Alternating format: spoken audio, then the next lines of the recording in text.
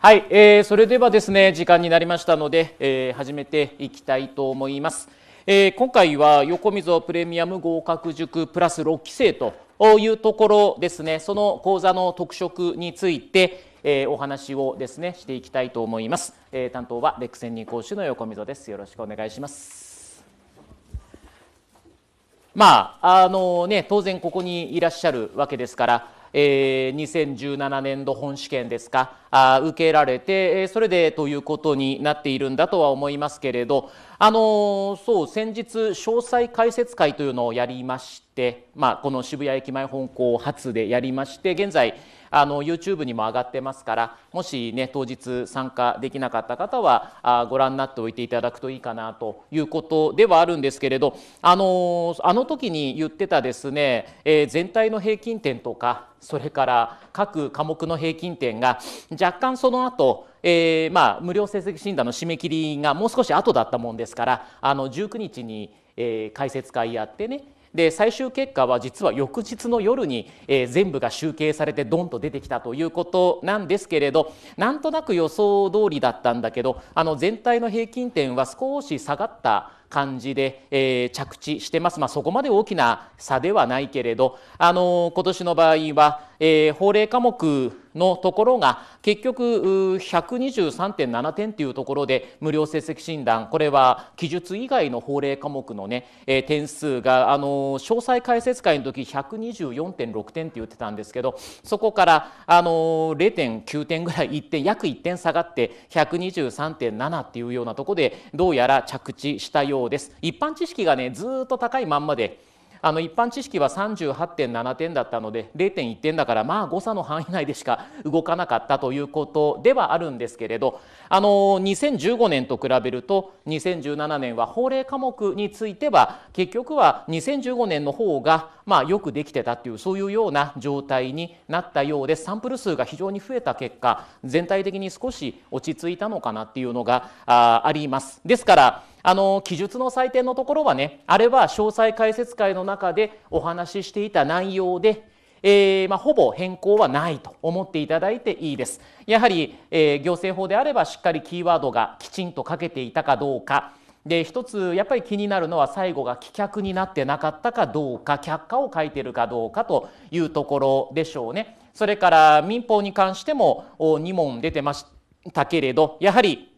善意無重過失をきちんとえー、かけていたかどうかっていうのがあの債権譲渡の問題になりますか、まあ、最後の問題はいつから何年かを2つきちんとかけていたかどうかってあの詳細解説会の中で、まあ、それぞれで点がつくだろうって話はしましたが、まあ、それで処理がなされるんじゃないかなというふうには思ってます。ですから、まあ、その辺りを考えてですねあのー2018年度試験に向けて、えー、リベンジをというふうに、えー、捉えているのであればこれはやはり、えー、早めのスタートというのは必要になってくるだろうって話を、まあ、していくということなんですね。あの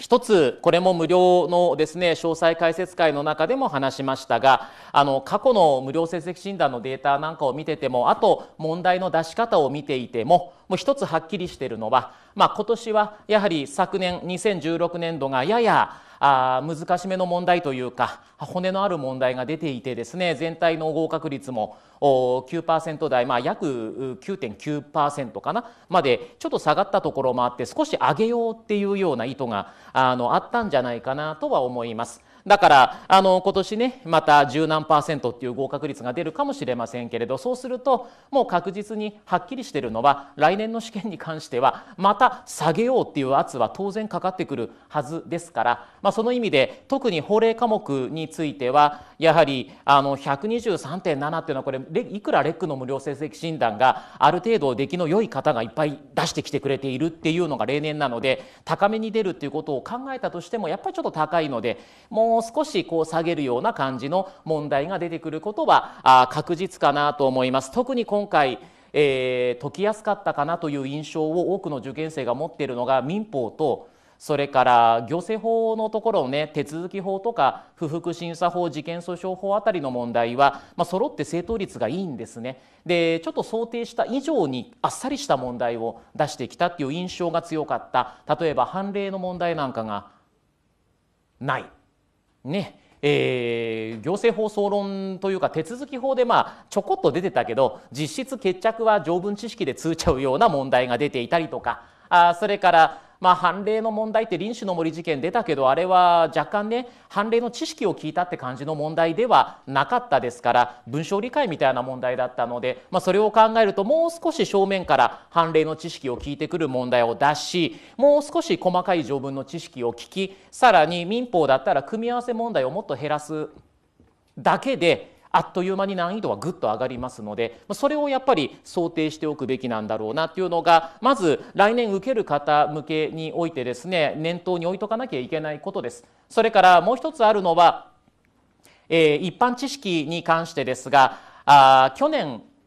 今年と出題を控えてきた分野としての個人情報保護法分野ですね。個人情報保護法分野。それまではよく出ていた分野ですけれど、まあ、今年の5月30日に新法が施行されているわけですからいよいよ来年の試験からあ全面解禁という形で出してくることを想定しとかなければいけません。実は個人情報保護法だけじゃなくて行政機関個人情報保護法も微妙に変わってるので、まあ、その辺りがやはり出題の対象になってくるということも想定して勉強はしておかなきゃいけないかな。いろんな意味で新しい分野が入ってきたりとかそれから法令科目の少しレベルアップなどがあ考えられるものということになりますので、まあ、その意味であのやはりね早めのスタートを切っておいた方がいいだろうということですね。そしてあの今回紹介するのがこのプレミアム合格塾6期生というものになりますのでえっ、とねこちらのなんだ最善の選択肢って書いてある、えーパンフレットですか？カラーのパンフレットね、えー、手元にあるかと思いますそちら開けていただいて、え、24ページ25ページですか。あそちらのところですね。24ページ25ページのところで、えー、プレミアム合格塾。な今年はプラスということなんですけれど。うんまあまあそういう名前になった。ちょっと英語が入るとかっこいいかなっていう そういう感じのネーミングの変更かもしれませんけれど。まあ6期生です、え、6年目を迎えた横溝プレミアム合格塾という一応受験経験者向けです。あの行政書士試験の場合はね中上級者向けって言い方はしません。あの中上級者なんかいないからあのいないです。もう0か100ですから。合格してるかしてないかってそこだけですからあの今年の試験で点数がどうだったかなんてこと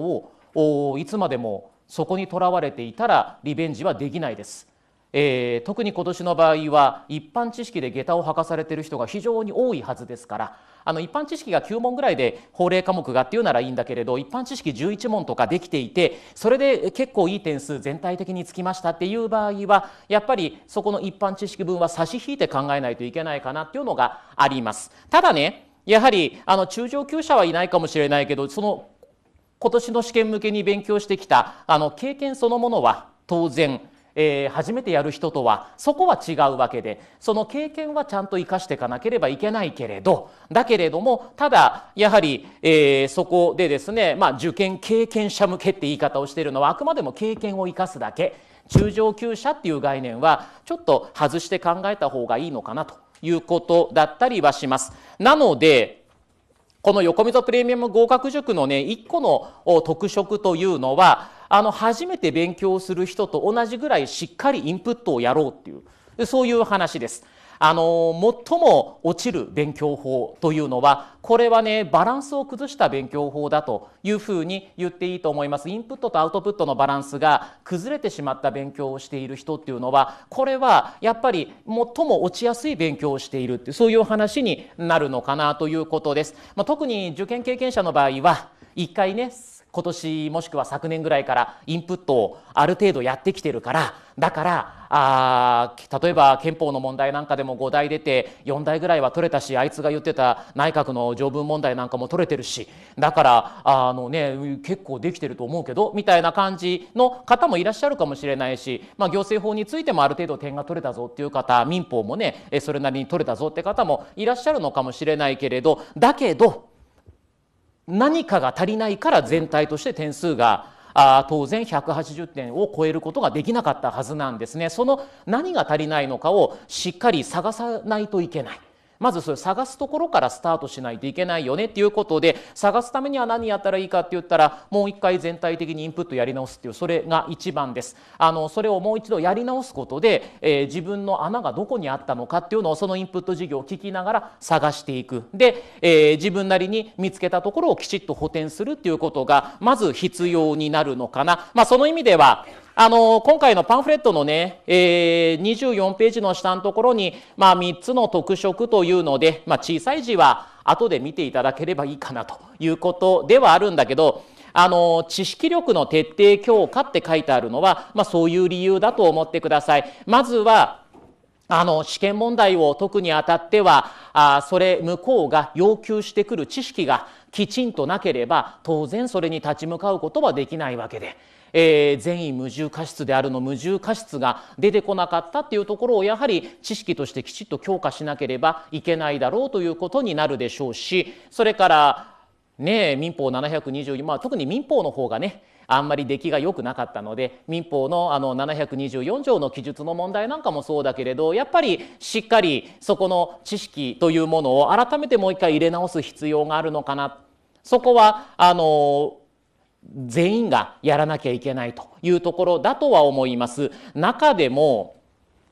知識力の強化というところでうんまあ、全員が当てはまるわけではないかもしれませんが当てはまる方が多そうな感じが個別相談会などでね、えー、見てきたところで感じたのはやっぱり憲法ですね。憲法の出来が多子選択含めた憲法の出来がやはり合否を大きく分けてるっていうのはここ数年の本試験ずっと続いている傾向で、えー、今年の試験も憲法の出来で結構明暗が分かれてますある程度勉強している人は民法は結構今年は取れてます。あの9分の7とか8とか取ってるような方全体で合格点いってなくてもそのぐらい取ってる人がいたりするんです、まあ、それだけあの組み合わせで取りやすいとかいろいろあったかもしれないけど聞いてるネタはそんなに優しくはないものが多いですからだからしっかり準備してた人が多かったんだろうと思います。ね、で一方で憲法の方が、まあ、今回この基礎法学含めれば7問ですか？7問でやはりあの合格ラインをね超えてる人は5問以上取ってる。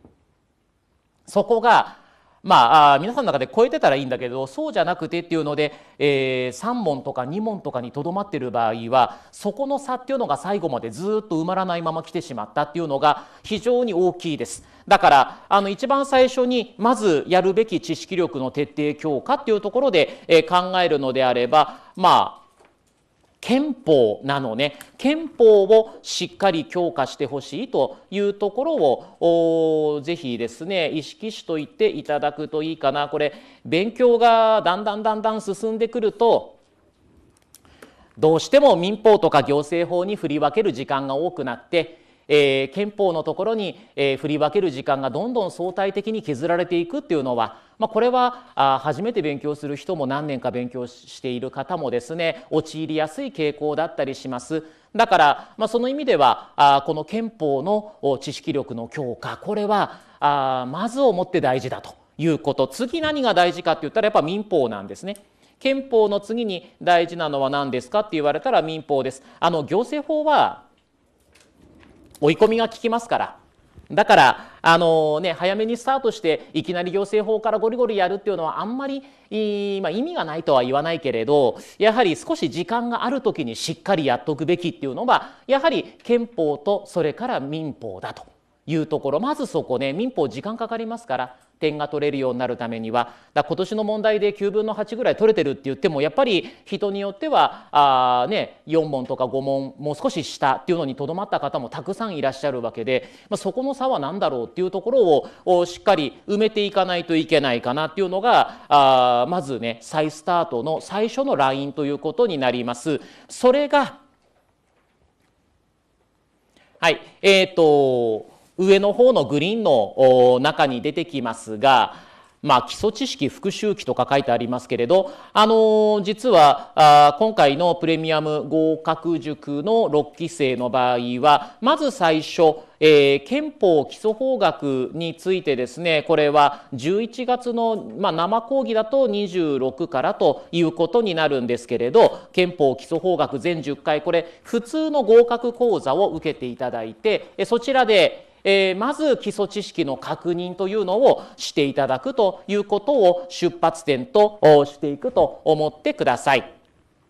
まあプレミアム合格塾の知識力強化編の方の憲法がやや時間数が少ないっていうのもあるのでまず苦手な方とかねしっかり勉強できてなかった人とかのために、え合格講座で、えきちんと知識力の強化を図ろうじゃないかっていうのが出発点になります。それから民法に関しても一応合格講座を受けることはできますので、まあ、そちらも使っていただいてもいいですけれどあのー、まあまあ生講義を基準に言うんであれば11月26日に憲法が始まってこれ終わるののが1月7日ぐらいなのよ。まあ、これ通信講座でも受けることはできますので、まあ、通信の方もだからあ年明けちょっと過ぎぐらいでしっかりこの憲法が聞き終わるように一回勉強してるんですから。ね？聞いたことある話ばかりのはずだから。だその中で自分がどこ分かってないかなって特に判例のところの知識かな。今回のねあの問題の3番あたりは出来は良かったんだけれどそういった問題の3番あたりの問題を間違えたもしくは問題4番ですか憲法の問題4番のところで、えー、奈良県ため池条例事件の話が出てましたよね。あれを間違えた人とかはやはり判例知識のところが非常に薄かったっていうそういう話になるんだと思います。ね、そこをしっかり、えー、埋めていかなきゃいけないかな実際あのレックの合格講座の講義録見るとねあの選択肢の中に書いてあることほとんど全部あの奈良県ため池条例事件って判決文短いのですごい短い中に全部入ってるのね。あの憲法民法の保障の枠外であるってところまで全部入ってるのね。だからそこで間違えてるっていうところの段階でもうやはり基礎知識に少しムラがあったかな、まあ、財産権だからねそんなに出るところじゃないからっていうのはまあ多少同情の余地はなくはないけれど。でもやっぱりしっかり、えー、準備ができてたかどうかでそこ差がついたんだろうなっていうのがありますよね。あと問題5番ね。あの憲法の場合やはりあの問題4番5番あたりが合否を分けてる問題だというふうに、え言っていいと思います。正答率が無料成績診断で半分ぐらいなんでそこが合否を分けてます。あの問題5番っていうのはえー、と内閣の条文知識の問題ですね。内閣の条文知識の問題のところを外してなかったかどうか、まあ、そのあたりもぜひえー、この憲法の10回の授業の中で、えー、振り返っていただくといいのかな。まあ、なんていうの？あの早めにスタートしろとは言ったけど最初からですねエンジン全開でガーッと突き進んでいきなさいっていうのはあんまり多分持たないのでねあのすごくこうリベンジに燃えてですね俺は俺はやる私はやるみたいな感じでもう今日からなんか寝ないで死ぬ気でやるみたいな感じの気持ちになってる人もいるかもしれないけど持たないからね絶対来年の試験までは。だそれを考えるとまずやっぱり最初は少しスタートの段階ではあまりそこまで負荷はかけなくてもいいのであの憲法のまずは知識の補充をしていきましょう。余裕があったら例えば通学で憲法を受けながらあ通信クラスで民法の方を見ていくっていうようなことをやっても悪くはないですからとにかく基礎知識の確認をもう一回していきましょうっていうのがまず1月の15日ぐらいまでがデッドラインですねここね。1月の15日っていうのがこれが一つの締め切りだというふうに思っていてください。なぜかというとはい。ここからがあプレミアム合格塾のカリキュラムのちょっと特色になりますが、はい、その横、えー、プレミアム合格塾知識力強化編というのがあります。でこちらですね民法から配信がスタートになります。民法から配信がスタートになってこの民法が間違えないように日付をちゃんと確認してから言いますが1月の、うん、16日から配信開始です。ね。なので1月の16日から民法から配信がスタートします。まずあのー、今まで合格講座とか受けた方間違えないでいただきたいのはプレミアム合格塾はこれは1回が3時間の授業になります。2時間半ではありません。その代わり1時間ずつ休憩があ5分ぐらい入ってまた1時間次また5分入って1時間って感じの3ユニット制で、収録もしてますし教室で3時間の授業の場合もそれでやっていくっていう形になります。1月16日から配信スタートする知識力強化編あの1回3時間で民法15回だから45時間分の授業をしますこれね合格講座が50時間ぐらいなのでそんなにあのものすごい大きな差があるものではありません。あの話す時の内容そのものは少し一回せっかく勉強してるわけだからそのけ勉強してる経験値のことを考えたお話の仕方にはなります。一番わかりやすいのは民法の相続のあたりね。あの本当に初めて勉強した方だとやはり触れられないことって結構あったりしますよね。あの特に時効のあたりの話とかもそうだけれどやはり後で話しますっていう形でまさか今ここでこの仏上代仏上保証人の話をするわけにはいかないとかさあ加害行為の受益者があ、ね、自公営要件があるかどうかについてちょっと触れるわけにはいかないとかっていう話がどうしても出てくるのであの初めて勉強する方の場合は少し先送りしながらね、えー、話せるとこだけ話してっていうような処理をしますけれどこの知識力強化編の場合は1回勉強してるわけだから全部そのまんま喋ってきますのであの相続の話をしている中で民法物件や債権の全体の話を織り交ぜながらお話をしていくっていうようなあ形にはなるかなと思います。あの1月の16日から知識力強化編が配信されてこれは通学されてる方も全員自宅で見るっていうそういうようなスタイルになります。あのね知識力強化編はこれは予習です。予習をしてくるっていうそういう話です。まあ配信の開始の時期などを考えるとこの回答力強化編のスタートの段階で民法を全部聞き終わってるというのはかなり大変だと思いますからあのー1月16日に配信スタートするのはこれ全15回のうち民法7回までなんでねだから8回から15回までは2月の13日に今度配信されるような形になりますのでうんとちょっと全部聞き終わるのは難しいかもしれないけれどでもなるべく1ヶ月ぐらいの間で民法を3分の2ぐらい聞き終わるような状態をまず自宅できちんとやっといてほしいな。あのこちらの民法の20回の合格講座よりもこっちを優先してねえー、優先して聞いてくださいまず憲法については合格講座の先取りはこれは必ず見といてほしいし、えー、生講義に来るなら受けといてほしいんですけれどあのその後の民法に関してはこれは1月15日までならあ見ててもいいですがそれ以降ってことになるともうこっちの知識力強化編の方に、えー、切り替えて見ていっていただくといいかなということになりますか。あの基本的にはあ合格講座と同じね、えー、講義録と画面集は使っていきますがあの民法の場合はご存知の通り、えー、こちらですか？もう2018年版が出てますけれどあの完全整理択一六法っていうようなものも合わせて、えー、参照しながらお話をしていくっていう形は取ります。だから少しあの話す内容としては、うん、合格講座の時よりは細かいっていうそういうような話まで、え、することにはなるかなというふうに考えていただくといいでしょう。同じようなものが随時、えー憲法そして行政法と配信されてくるっていうのはあの白黒のね冊子のところで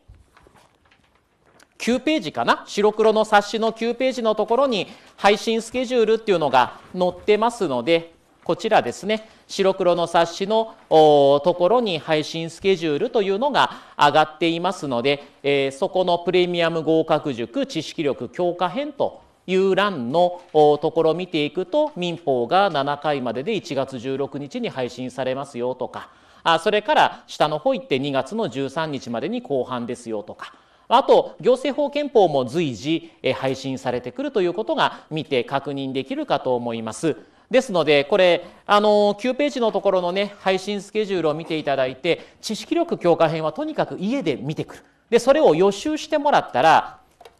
はい今度はここですね2月の24日からスタートしますけれど2月の24日からスタートしますが生講義が2月の24スタートということになりますが回答力強化編こちらが復習です。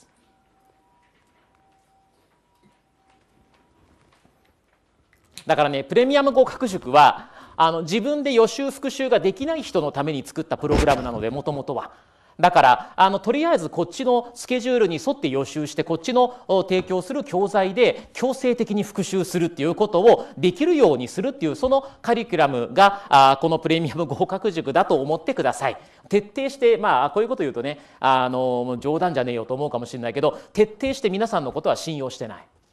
あのやってくださいといったことはやらないだろうと思ってるの。だからやらやってくださいではなくてここに来てやれってそういう状態を作るっていうのがこれがもともと6年前に作った時のコンセプトでで意外とそれをやるとあのまあ嫌でもとりあえず来てやったりとかって、まあ、通信オンリーでやる方はねそれかなり強いあの自制心ってものがないとまずいかもしれないけれど少なくとも教室に来て受けることができる人にとってみればまあまあ復習を今まで自分でやってたものをこの教室に来ると無理やりやらされるっていうのがあ一つのメリットにはなってると思います。あのねこれ同じ回数あるでしょ？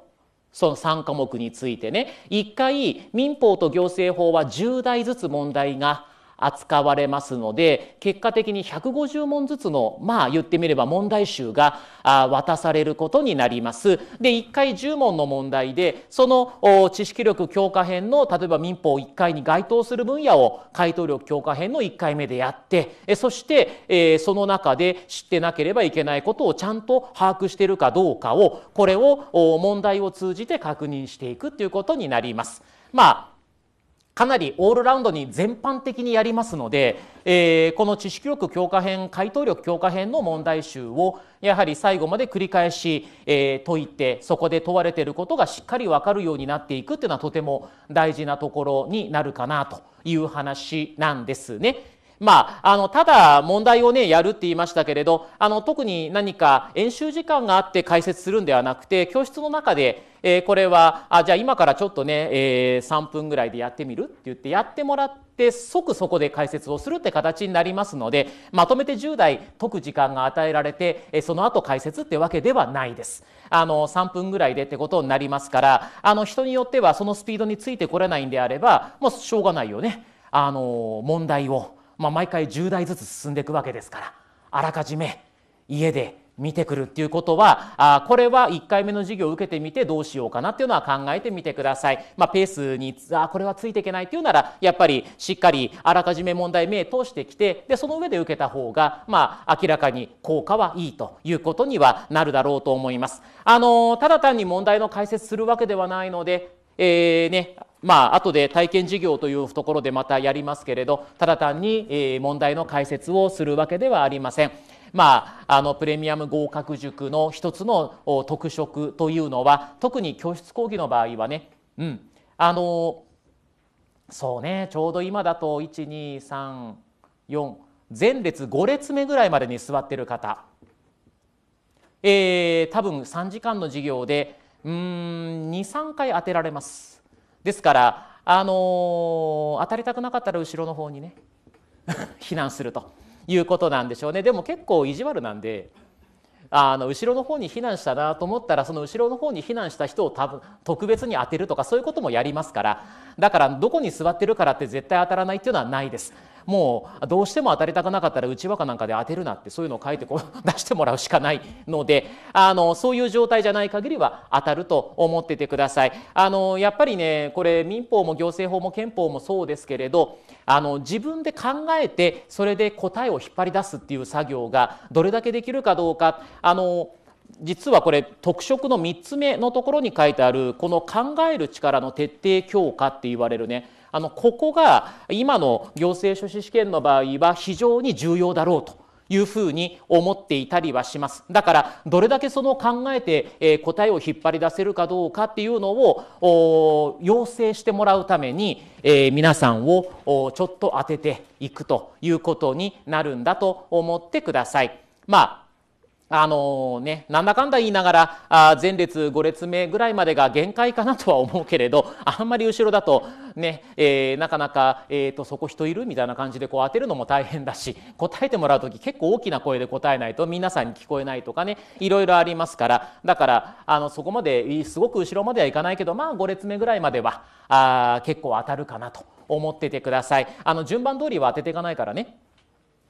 当然ね突然こっち行ったらあっち行ったりとか向こう行ったりとかいろいろそこはあのありますから。で大体当てないでって顔してる人は当てますから。あのそこはあの非常に見ててよくわかるのであの心理状態がすごくよくわかるのでそれを踏まえて当てていくっていうね。分かるっていう人すごく当ててって顔でニコニコしながらこっちを見る人がいますけどそういう場合は当てないです。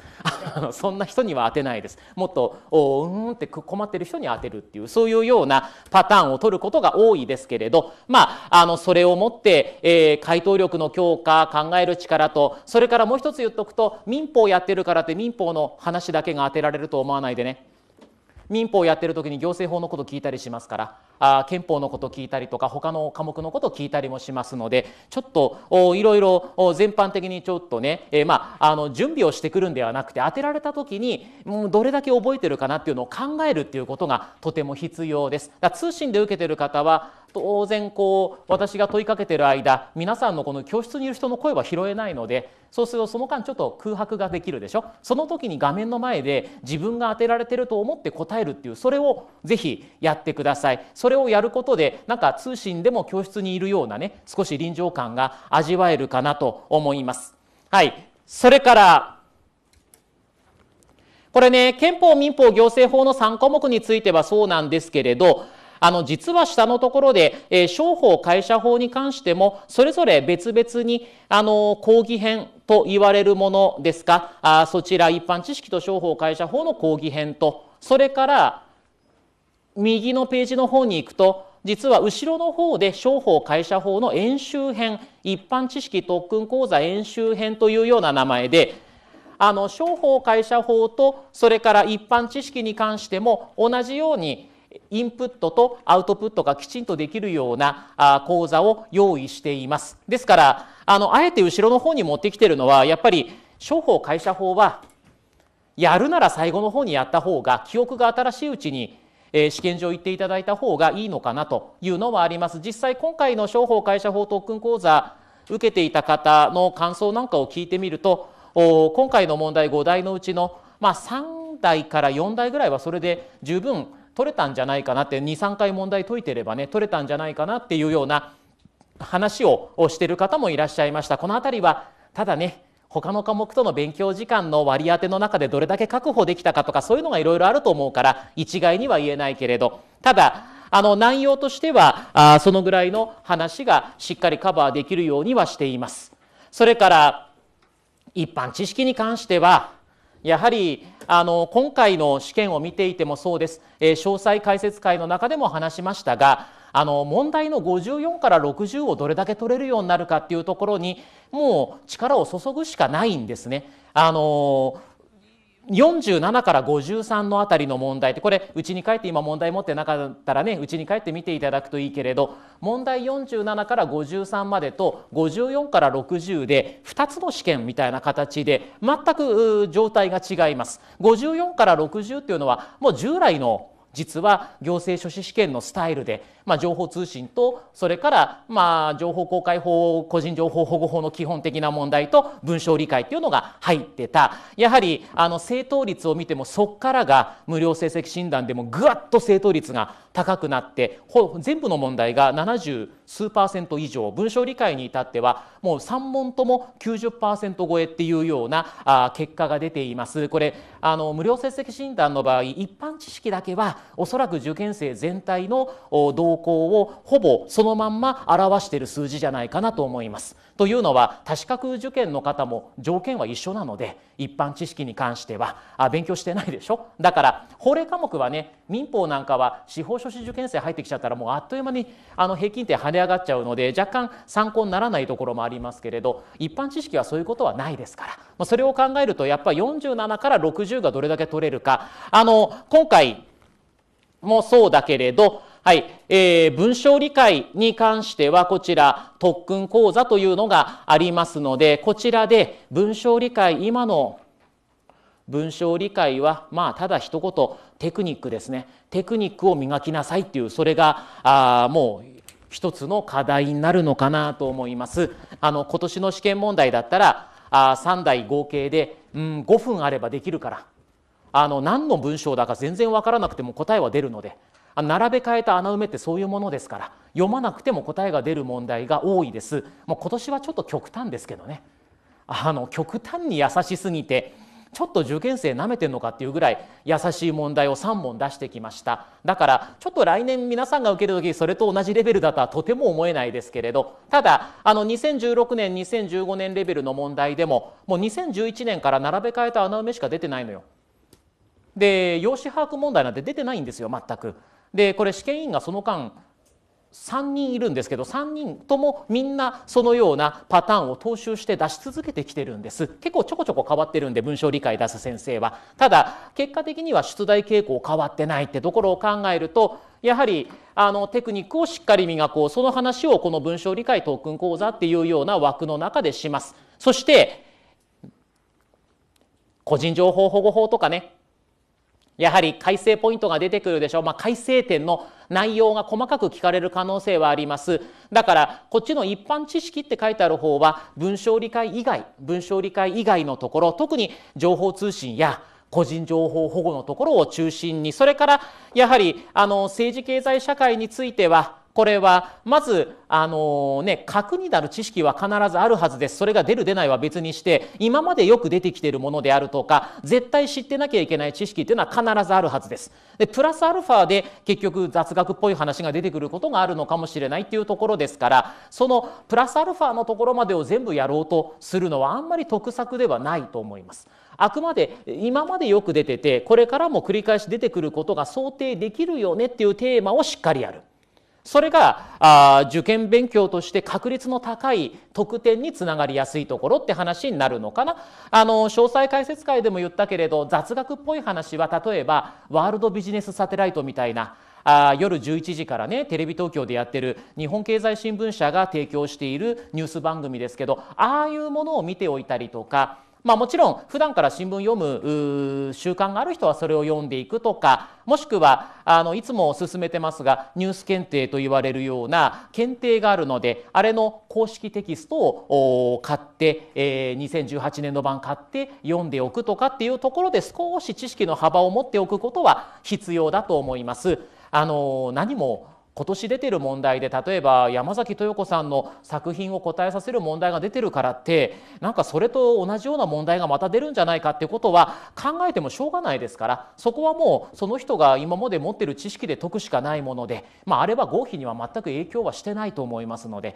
やはり一番出たら絶対合格者が取れてなおかつそれを取れないと合格に、え結びつかない合否を分けるような問題だっていうところをしっかり固めるっていうのがやはり一番いいのかなとは思ってます。それやらないとふわふわふわふわいろんなことをね、えー、情報として得ようとしてもなかなかうまくはいかないだろうということなんですね。昔2004年ぐらいかな新橋横浜間で蒸気機関車が開通したのは何年かっていうのを聞いてきた問題があの近代の日本の科学技術の進歩についてっていう問題でですねで選択肢1がそれだったんですよそれが確か正解だったあとはなんか梅毒スピロヘータを発見したのは科学者の誰々であるとかなんかその科学者のねなんかうまみ成分を発見したのは誰々であるとかそんな感じの選択肢が5個並んでて誰ができるんだっていう感じの問題が出てあの2チャンネルで当時すごく話題になったことはありますけれど冷静に考えるとあれは合否には影響してない。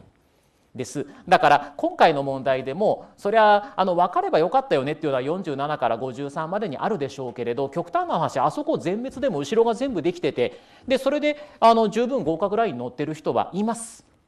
あの全く分かんなかったと。誰が孫なのかなんてそんなの知らないからもうよく分からないからまあ多分日本の首相の話なんじゃないの？みたいな感じでそこにつけて間違えたとかあ年金の話もよくわからないから適当につけてその先もいろいろやってったけど結局全部外れててすごくドキドキしたけど54から60は全部できてましたっていうような人はいます。だからあのある意味あの真っ当に準備をしておくっていう。そこを意識するのがこれとそれからこちら特訓講座の演習編と言われるところですがあの問題演習講座がいっぱい入ってるのね。はい。えー、25ページの上のところを見るとパワーアップ演習講座というのもあります。今回民法の問題だとこの辺から結構出てるものは多いです。特に気合い入れて向こうが作ってきた問題だとこのパワーアップ演習講座にそのまんま正解詞が入ってたものも結構多かったりはします。まあ行政法も含めて、えー、見ておけばいいかなあの行政法の問題8みたいなねえー、職権取り消しと撤回が2年連続出てきたけどああいう参照条文を挙げといて条文の内容を読み取らせて問題を解かせるっていうのはあれは司法試験とかの出し方なんですね。だこのパワーアップ演習講座の中にそういうようなものが実は入れてあったりはします。だからあの条文の読み方っていうのを初めて見た条文でそれが何を言ってるんだろうかをきちんと読み取れるっていう力っていうのは確かに持ってた方がいいのかもしれません。あれをもって問題傾向が変わったからどうのこうのっていうのはうーんどうなのって気はします。あのというのもあの職権取り消し撤回は2008年に実は選択肢1個ずつ全く見たことないような制度の説明とともにその条文の内容が引用されているような形の問題が出ていてさあその中でどっちだったかな？撤回にあたるものか職権取り消しにあたるものかを選びなさいっていう問題が出たことがあります。だからあのあの論点には割とよく出てくるテーマなので、まあ、新傾向とはとても言えないと思いますけれどただまあね少しあらかじめ見とくと安心だっていうんであればパワーアップ演習講座っていうのはおすすめだなということなんでしょうね。ここだよねあの順番前後しちゃったけど2つ目の特色っていう意味ではあ回答力の徹底強化っていうのは当然必要だということになるんだと思ってください。問題を解く力ね、あの知識があることは前提でその知識があその問われた問題でどういう知識を引っ張り出してそれを当てはめて解けばいいんだろうかっていうところの頭の中での思考プロセスがきちんとできてるかどうかっていうのはすごく大事でこればっかりはいくら教えても身につくものではないです。あの問題をある程度の数解いて自分の中に叩き込んでおかないとなかなかあ本番で発揮するっていうのは難しいと思います。ですから回答力を徹底強化するためにはまあ、ある程度の問題に触れておく必要はあるんでしょう。あのプレミアム合格塾のね知識力強化編であれば民法行政法がだいたい150問憲法70問ぐらいかな憲法は5回で70問ぐらいの問題を取り上げます。それからパワー編集講座のところはこれやっぱり民法は1回10問なんで違う問題ねもちろんね違う問題を100問だから民法は250題択一の問題に触れるチャンスっていうのがこのカリキュラムの中である。それから行政法もうんと1回12問ぐらいだったかな96問100問弱ぐらいの問題が入るはずなので、まあ、そうするとやはり250問弱ぐらいの問題に行政法も触れるというチャンスが与えられることになりますね。ある程度の問題をこうをしっかり触れてそしてその中で持っている知識の当てはめができる状況を作っていくっていうのはあの一つのトレーニングとしてとても大事になってくるかなということです。当然この辺りのパワーアップ演習講座などでも解説の時にはあその来てる方にいろいろと聞きながら話をしていくのは、まあ、これ全講座全部共通です、まあ、文章理解特訓講座はやらないかな。あのそれはやらないですしあの商法と一般知識もなるべくやらないようにします。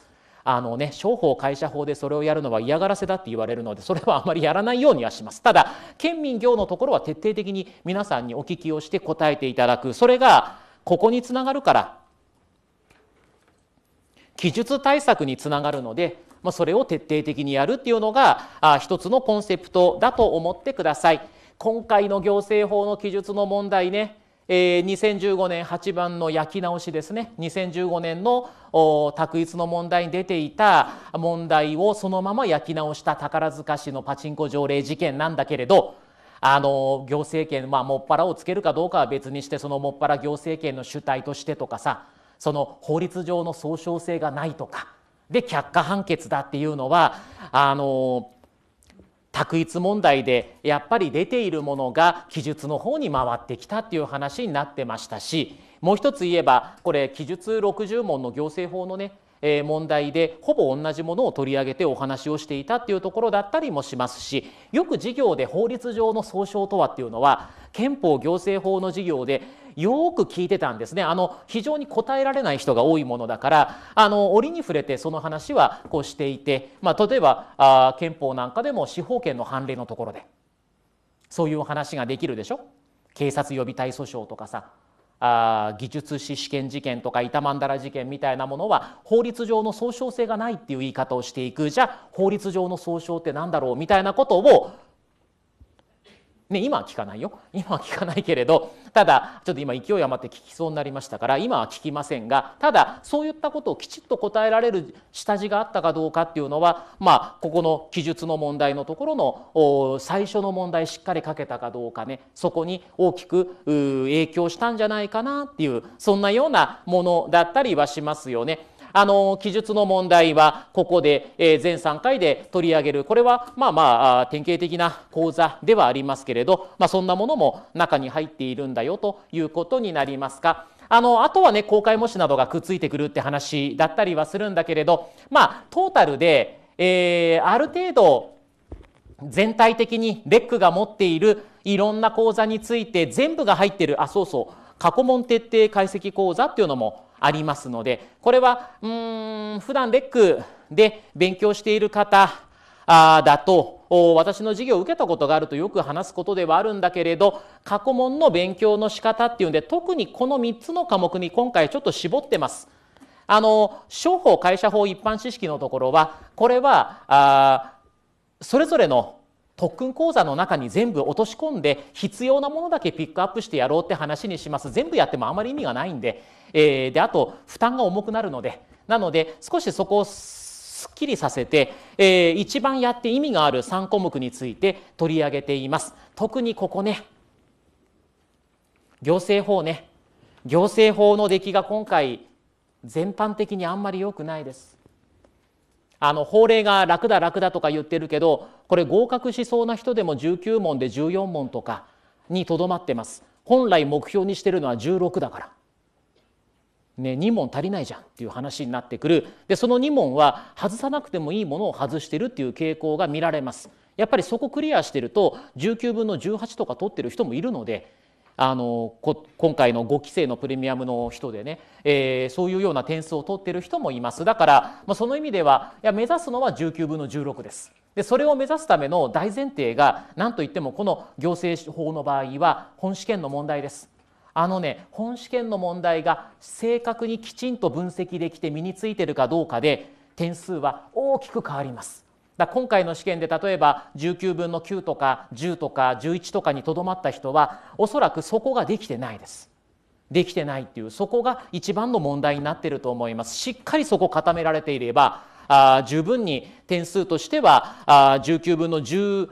45あたりまでは伸ばせます。プラスあとはねこのパワーアップなどもしくは回答力強化編の問題などで当然本試験以外のことが出てくる場合もあるからそこも含めた演習をやることで最終的に1516ってラインに行ってほしいな。だからわざわざ最後に過去問ラストチェック講座っていうんでもう一回憲法と行政法だけ本試験の問題を直前期にもう一回やる講座を入れてあります。あの同じだとねしょうがないのでこっちは一問一答形式ねこっちは一問一答形式に直したものを使っていきます。だ問題の形だとね答えを覚えてるとかなんとかってそういうことを言う人がまたいるからだからそこは問題の答えを覚えてるんだったらバラバラにしてシャッフルして選択肢ごとに丸×が分かるかどうかを確認するっていうような形に変えて最終チェックをするっていうのがこの過去問もまさに最終チェックって意味でラストチェックですかこれをしっかりやっていただくっていうのがまあこの講座のね締めにあたる講座ということになりますか。まあ、いずれにしてもこれであとレックがやってる講座で、えー、この中に入ってないものと言ったらあそれは今年取り上げたものであれば合計44点アップ道場っていうねあれだけぐらいですあれぐらいです。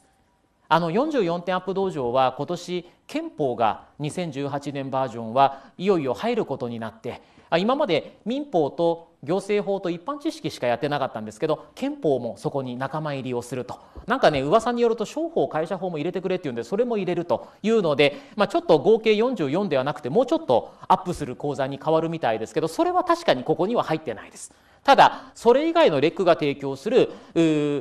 直前講座まで含めて全講座が入った形でさあこれをやっていこうじゃないかこれをやることで同じ科目を講座変えながら何回転もできますよ。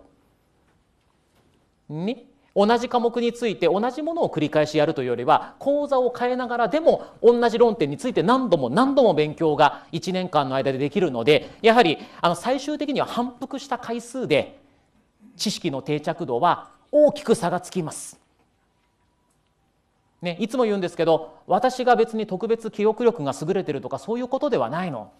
あのねもう嫌になるぐらい同じことをひたすら1年間何度も何度も皆さんの前で喋ってるからだんだんだんだんその思い出すスピードが速くなってるだけです。それはだって同じその40代の男性としてあのね物覚えはだいぶ悪くなってるのかなって気もしなくはないところはありますからだからただこういう事業の内容に関してはもう本当に嫌になるぐらい繰り返し言ってるので行政法の事業だけでも年1年間で多分十何回転してるんですよ。だからその柔軟回転同じ話してたらそりゃ思い出すスピードは速くなるわね。でそれが皆さんに同じぐらいの、